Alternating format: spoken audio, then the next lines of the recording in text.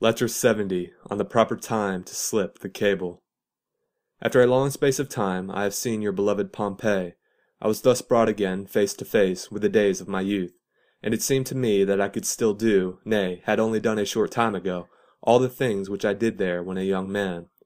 We have sailed past life, Lucilius, as if we were on a voyage, and just as when at sea, to quote from our poet Virgil, lands and towns are left astern, even so, on this journey, where time flies with the greatest speed, we put below the horizon first our boyhood and then our youth, and then the space which lies between young manhood and middle age and borders on both, and next the best years of old age itself. Last of all, we begin to sight the general bourne of the race of man. Fools that we are, we believe this bourne to be a dangerous reef, but it is the harbor, where we must some day put in, which we may never refuse to enter, and if a man has reached this harbor in his early years, he has no more right to complain than a sailor who has made a quick voyage. For some sailors, as you know, are tricked and held back by sluggish winds, and grow weary and sick of the slow-moving calm, while others are carried quickly home by steady gales. You may consider that the same thing happens to us. Life has carried some men with the greatest rapidity to the harbor, the harbor they were bound to reach even if they tarried on the way, while others it has fretted and harassed. To such a life, as you are aware, one should not always cling, for mere living is not a good, but living well. Accordingly, the wise man will live as long as he ought, not as long as he can. He will mark in what place, with whom, and how he is to conduct his existence, and what he is about to do. He always reflects concerning the quality, and not the quantity, of his life. As soon as there are many events in his life that give him trouble and disturb his peace of mind, he sets himself free, and this privilege is his, not only when the crisis is upon him, but as soon as fortune seems to be playing him false. Then he looks about carefully, and sees whether he ought or ought not to end his life on that account. He holds that it makes no difference to him whether his taking off be natural or self-inflicted, whether it comes later or earlier. He does not regard it with fear, as if it were a great loss, for no man can lose very much when but a driblet remains. It is not a question of dying earlier or later, but of dying well or ill. And dying well means escape from the danger of living ill. That is why I regard the words of the well-known Rhodian as most unmanly. This person was thrown into a cage by his tyrant, and fed there like some wild animal, and when a certain man advised him to end his life by fasting, he replied, A man may hope for anything while he has life. This may be true, but life is not to be purchased at any price. No matter how great or how well assured certain rewards may be, I shall not strive to attain them at the price of a shameful confession of weakness. Shall I reflect that fortune has all power over one who lives, rather than reflect that she has no power over one who knows how to die? There are times, nevertheless, when a man, even though certain death impends and he knows that torture is in store for him, will refrain from lending a hand to his own punishment. To himself, however, he would lend a hand. It is folly to die through fear of dying. The executioner is upon you. Wait for him. Why anticipate him? Why assume the management of a cruel task that belongs to another? Do you grudge your executioner his privilege, or do you merely relieve him of his task? Socrates might have ended his life by fasting. He might have died by starvation rather than by poison. But instead of this, he spent thirty days in prison awaiting death, not with the idea everything may happen, or so long an interval has room for many a hope, but in order that he might show himself submissive to the laws, and make the last moments of Socrates an edification to his friends. What would have been more foolish than to scorn death and yet fear poison? Scribonia, a woman of the stern old type, was an aunt of Drusus Libo. This young man was as stupid as he was well born, with higher ambitions than anyone could have been expected to entertain in that epoch, or a man like himself in any epoch at all. When Libo had been carried away ill from the Senate house in his litter, though certainly with a very scanty train of followers, for all his kinsfolk undutifully deserted him when he was no longer a criminal but a corpse, he began to consider whether he should commit suicide or await death. Scribonia said to him, What pleasure do you find in doing another man's work? But he did not follow her advice. He laid violent hands upon himself. And he was right, after all. For when a man is doomed to die in two or three days at his enemy's pleasure, he is really doing another man's work if he continues to live. No general statement can be made, therefore, with regard to the question whether, when a power beyond our control threatens us with death, we should anticipate death or await it. For there are many arguments to pull us in either direction. If one death is accompanied by torture and the other is simple and easy, why not snatch the latter? Just as I shall select my ship when I am about to go on a voyage, or my house when I propose to take a residence, so I shall choose my death when I am about to depart from life. Moreover, just as a long drawn out life does not necessarily mean a better one, so a long drawn out death necessarily means a worse one. There is no occasion when the soul should be humored more than at the moment of death. Let the soul depart as it feels itself impelled to go, whether it seeks the sword or the halter or some draught that attacks the veins, let it proceed and burst the bonds of its slavery. Every man ought to make his life acceptable to others besides himself, but his death to himself alone. The best form of death is the one we like. Men are foolish who reflect thus. One person will say that my conduct was not brave enough, another that I was too headstrong, a third that a particular kind of death would have betokened more spirit. What you should really reflect is, I have under consideration a purpose with which the talk of men has no concern. Your sole aim should be to escape from fortune as speedily as possible. Otherwise there will be no lack of persons who will think ill of what you have done.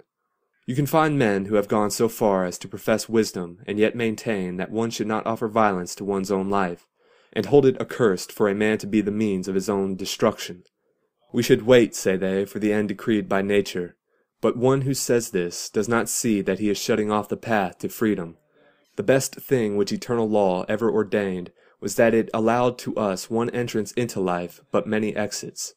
Must I await the cruelty either of disease or of man, when I can depart through the midst of torture and shake off my troubles? This is the one reason why we cannot complain of life. It keeps no one against his will. Humanity is well suited, because no man is unhappy except by his own fault. Live, if you so desire. If not, you may return to the place whence you came. You have often been cupped in order to relieve headaches. You have had veins cut for the purpose of reducing your weight. If you would pierce your heart, a gaping wound is not necessary. A lancet will open the way to that great freedom, and tranquillity can be purchased at the cost of a pinprick. What then is it which makes us lazy and sluggish? None of us reflects that some day he must depart from this house of life. Just so old tenants are kept from moving by fondness of a particular place and by custom, even in spite of ill treatment. Would you be free from the restraint of your body? Live in it as if you were about to leave it. Keep thinking of the fact that some day you will be deprived of this tenure. Then you will be more brave against the necessity of departing. But how will a man take thought of his own end if he craves all things without end? And yet there is nothing so essential for us to consider. For our training in other things is perhaps superfluous. Our souls have been made ready to meet poverty, but our riches have held out. We have armed ourselves to scorn pain, but we have had the good fortune to possess sound and healthy bodies, and so have never been forced to put this virtue to the test. We have taught ourselves to endure bravely the loss of those we love, but fortune has preserved to us all whom we loved. It is in this one matter only that the day will come which will require us to test our training. You need not think that none but great men have had the strength to burst the bonds of human servitude.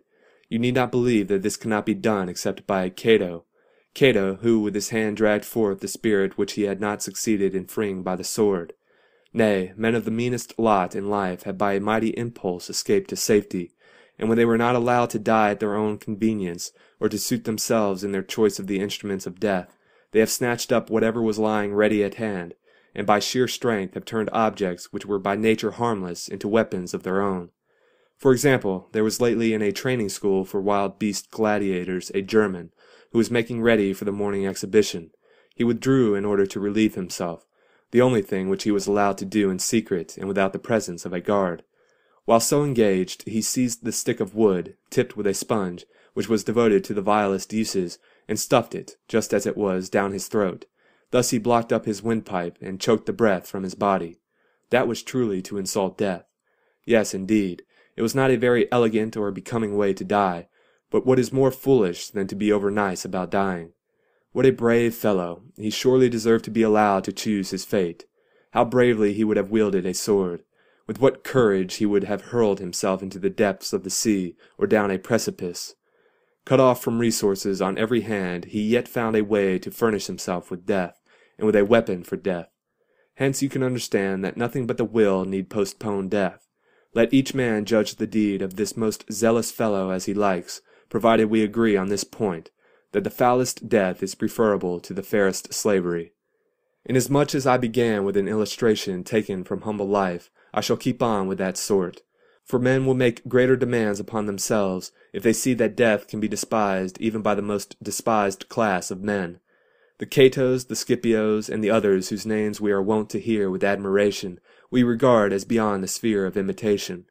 But I shall now prove to you that the virtue of which I speak is found as frequently in the gladiator's training school as among the leaders in a civil war.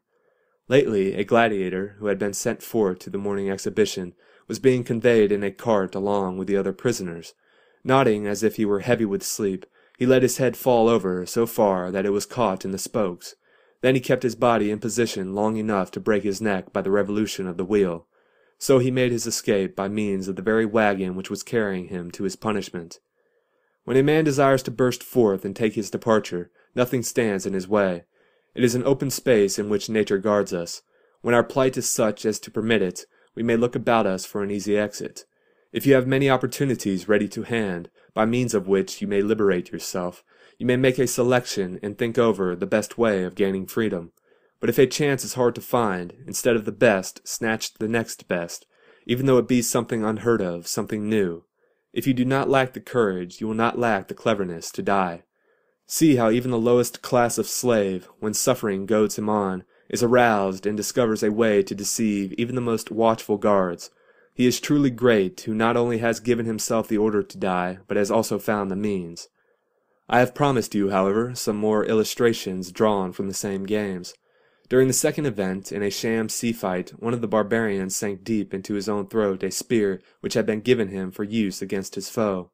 Why, oh why, he said, have I not long ago escaped from all this torture and all this mockery? Why should I be armed and yet wait for death to come? This exhibition was all the more striking because of the lesson men learn from it that dying is more honorable than killing.